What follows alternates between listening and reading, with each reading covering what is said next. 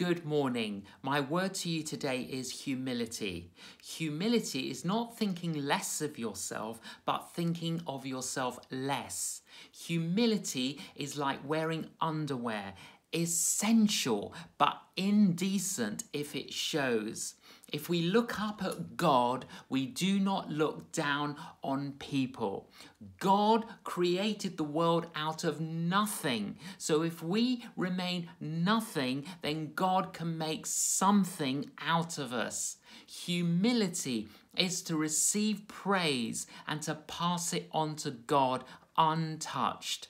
The Bible says, clothe yourself in humility.